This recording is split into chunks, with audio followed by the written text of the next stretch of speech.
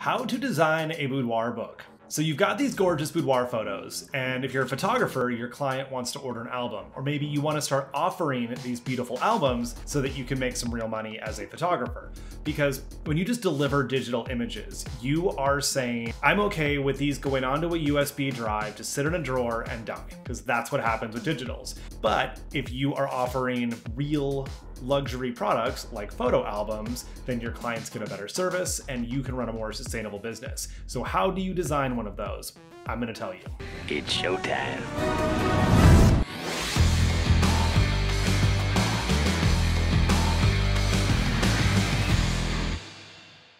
Hello, my name is Mike Lloyd. I am a professional photographer in Silicon Valley, California, and I love selling albums because I found the coolest albums from all over the world, the most beautiful materials to wrap them in, the perfect pages for the right photo paper that show off my work the best way that I've found. And my clients love them because it's a luxury keepsake. You know, I have this incredible experience and then they get to leave with these beautiful products as opposed to just giving a link to a Google Drive where they can go check out their photos, put a couple on Facebook or Instagram or whatever, and then the images just go die. Plus, the images never look great on somebody's screen compared to how we can deliver them in print. It'd be like going to a really fancy restaurant and you can smell the food and the wait staff is helping you find the perfect wine and you've made the right menu selections and then everything is just thrown on a plate in a doggy bag or, and then you get a doggy bag to take it home to go. You're like, well, this was a really great experience until now I just have to take everything home like ugly thrown in a bag.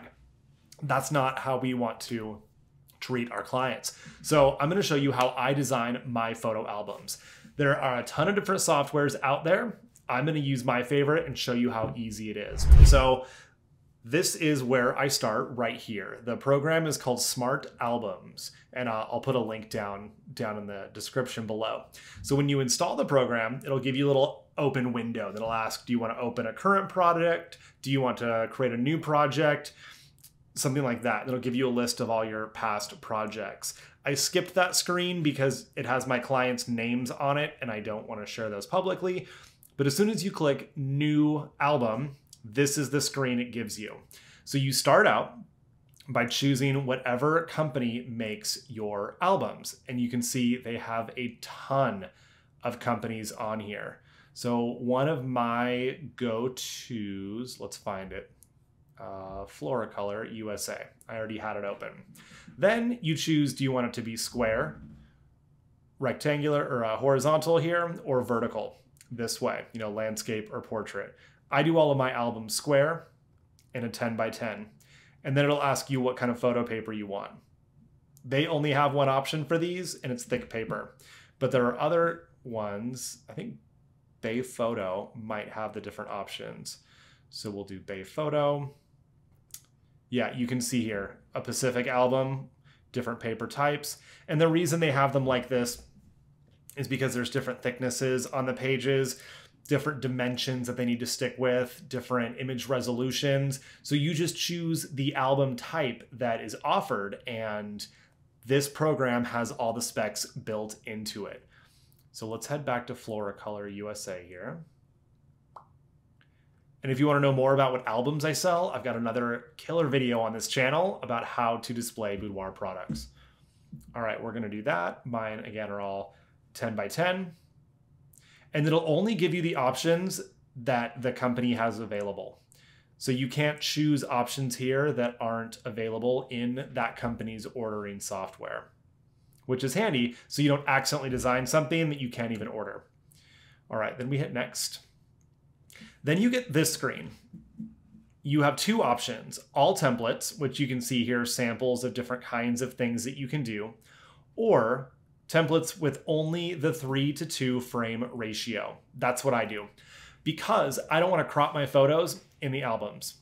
Uh, that's really important to me. I want them to stay the same shape. All of my wall art, everything that I do uh, is a three to two ratio, so I don't have to crop my photos. You can't get an 8 by 10 for me. You can't get an 11 by 14. No 16 by 20s.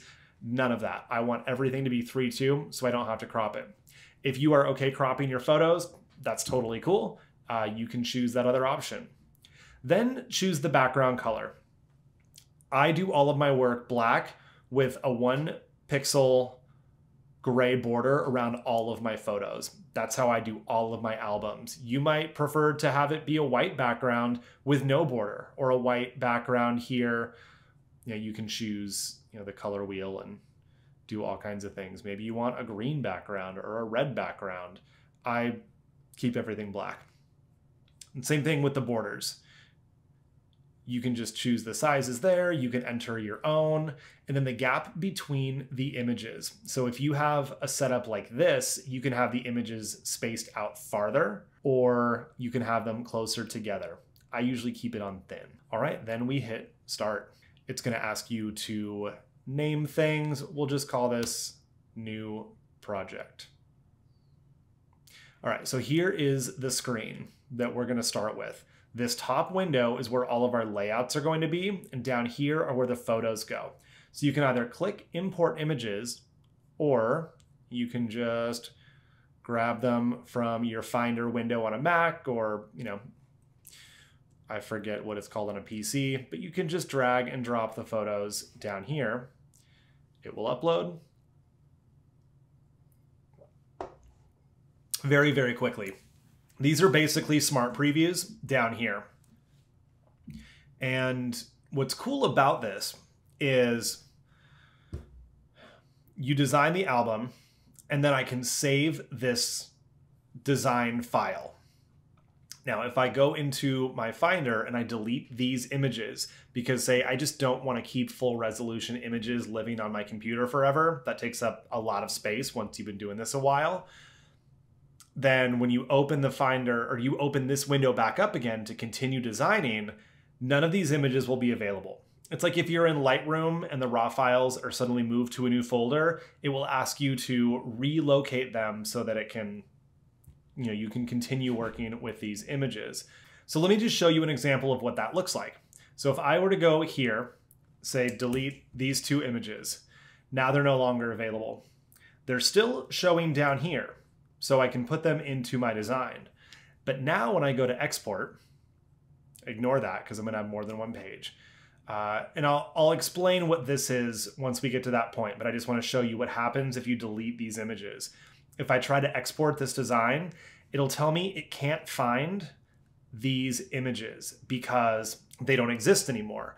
And these are only smart previews down below and I need to have the full resolution images available so that it can render these full resolution spreads. So I can just go into Lightroom, re-export my full resolution images, and now they're going to be available for exporting. So you don't have to keep all of the large files living on your computer all the time. You can just re-export them later as full resolution images and you can redo your designs here. But once I've ordered an album, I usually don't go back and change my layouts anyway. But just so you know how this works. All right, and then another cool thing about this, it grays out the ones you have already used. So you don't accidentally use the same image twice. You still can add the image again. It will let you add it twice, but because it's grayed out, you know better.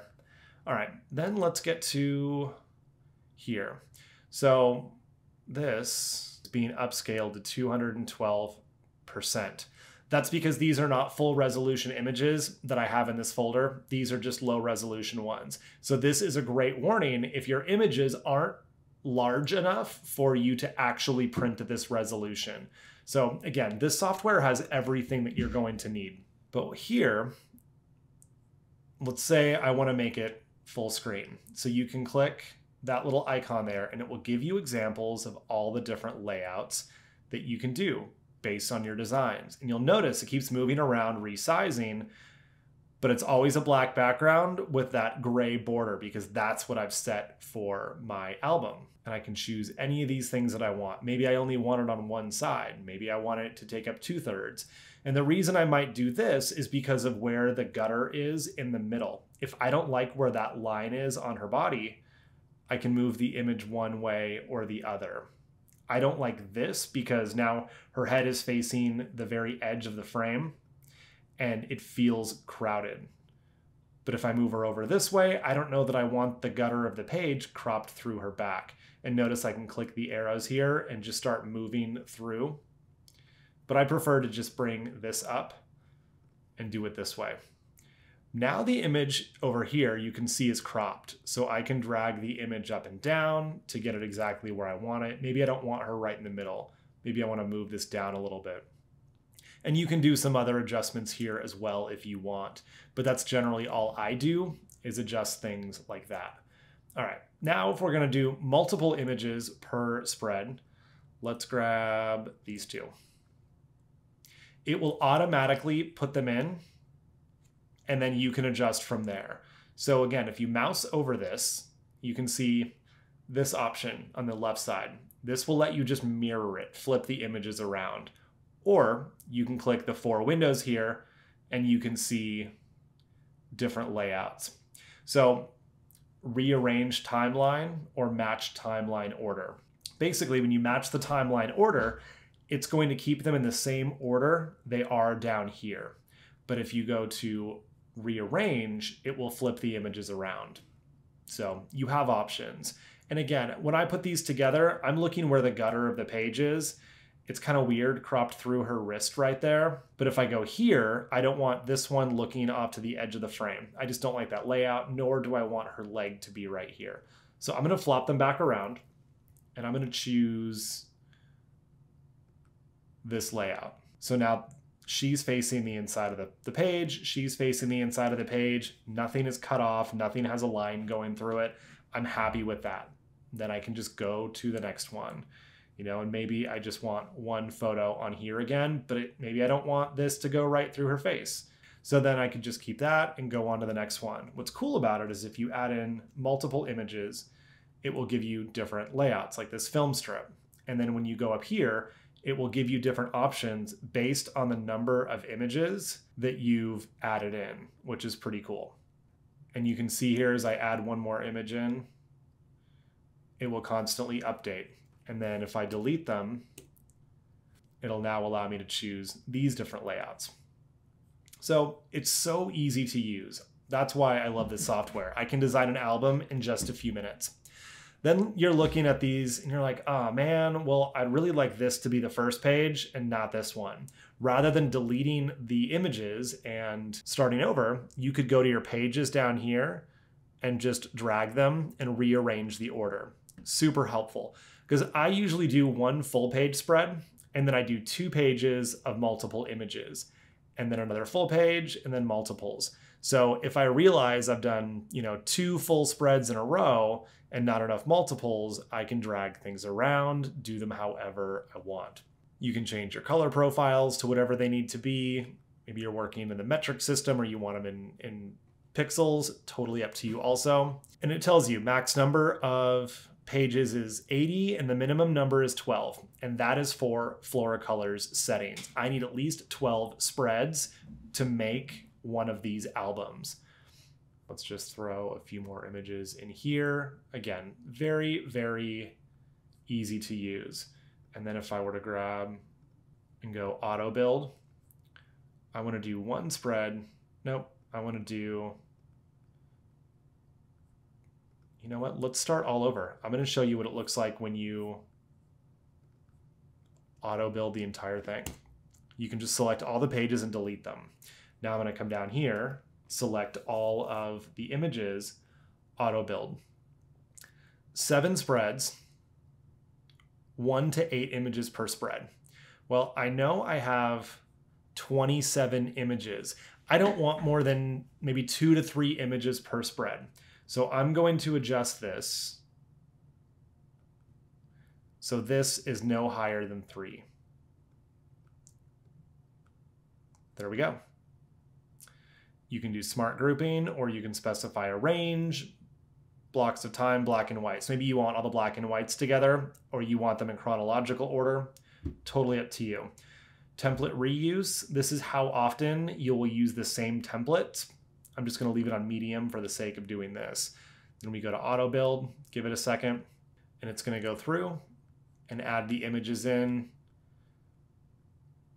Obviously, I wouldn't do this because I don't want blank images or blank pages over here in the book with a vertical image. Nor would I put these two very similar images side by side like that. but you can just see like, you know, maybe these would go together. That's kind of cool.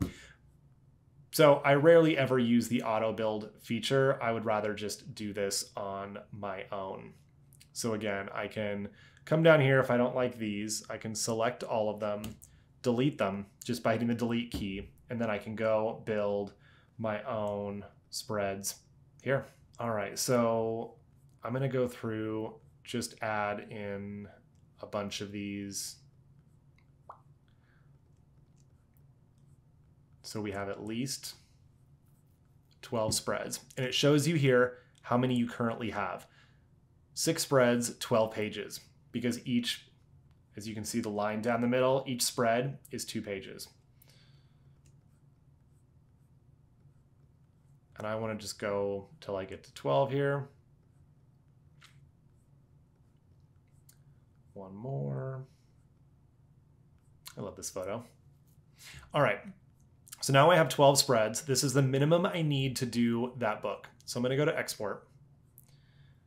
And it's telling me, it's reminding me I have four spreads that contain upscaled images. So I know that they're not high enough resolution to print. This is a great safety in case you caught the little warning label on the side. I'm going to ignore that for the sake of this. And then you can, we want to export for print. JPEG or PDF. So it really depends, you know, InDesign, whatever you need, your lab will specify, usually going to be JPEG. Now you can do all spreads or arrange. Maybe you've already designed this album, but you wanted to reconfigure two pages. So I can just, you know, maybe two and five will be exported, but I'm going to go ahead and do all of them. You can export as single pages, meaning instead of having 12 spreads, you're going to have 24 unique pages. But that's just not how the ordering software works. And it gives you all the dimensions here 254 dpi, the color profile that is all specified by Floricolor for their 10 by 10 albums. You can also do cloud proofing or export for proofing, which will you know allow you to throw these into an online gallery essentially for your clients to view there. Maybe you're doing a wedding design album and you want to confirm with them first it will allow you to export essentially lower resolution images without the trim areas so that they can see what their album is going to look like.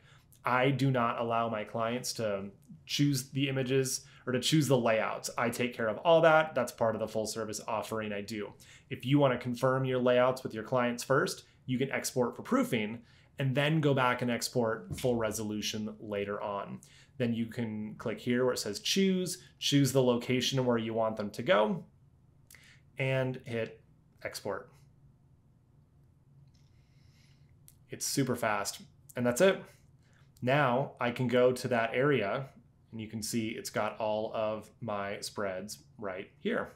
Super easy. And that is how I design my boudoir books. And when I'm ready for the next one, I just go back to create new project, pick the next kind of album, make magic happen. And you're going to get to do this so fast once you practiced a few times. And again, there are other software programs out there that do this sort of thing. I just really like this one. So again, it's called Smart Albums. So if you want to know more about selling products, designing albums, how to price yourself, I have other great videos on this channel or head over to boudoirguild.com. That link is down below, and I will walk you through step by step exactly how to choose the right products how to sell them, what to charge. I demystify all of that and walk you step by step through how to do it. This is the same way I generate multiple six figures of revenue in my own studio, and you can copy what I do and start making the same kind of money. It's not as difficult as most people make it out to be. So if you have any other questions, post them in the comments down below or shoot me an email, mike at boudoirguild.com. I'm happy to help however I can. You are amazing. We'll see you inside.